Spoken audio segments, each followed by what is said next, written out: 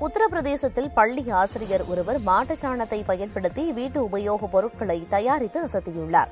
ஷாஜஹான்பூரைச் சேர்ந்த தொடக்கப்பள்ளி ஆசிரியரான பூஜா கங்வார் என்பவர் தங்களது பகுதியில் உள்ள மாடுகளின் சாணத்தை சேகரித்து அதன் மூலம் வீட்டு உபயோகப் பொருட்களை உருவாக்கியுள்ளார்.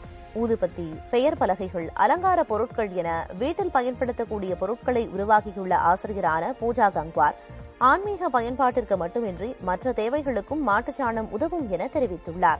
இரண்டாயிரத்து பதினேழாம் ஆண்டு முதல் இப்பணியை செய்து வரும் அவர் பலருக்கும் இது தொடர்பான பயிற்சிகளையும் கொடுத்து வருகிறார்.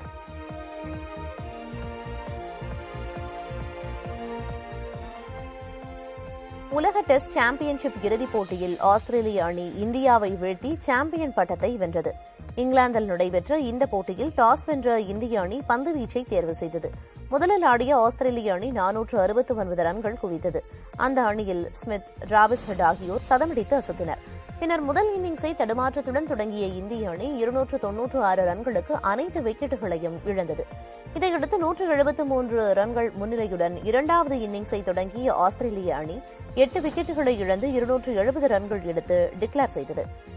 இதனால் இந்திய அணிக்கு நானூற்று நாற்பத்தி நான்கு ரன்கள் வெற்றி இலக்காக நிர்ணயம் செய்யப்பட்டது.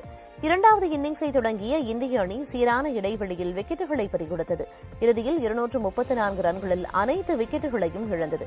இதன் மூலம் மூன்று வகையிலான கிரிக்கெட் போட்டிகளிலும் சாம்பியன் பட்டம் வென்ற ஒரே அணி என்ற சாதனையை ஆஸ்திரேலியா படைத்தது.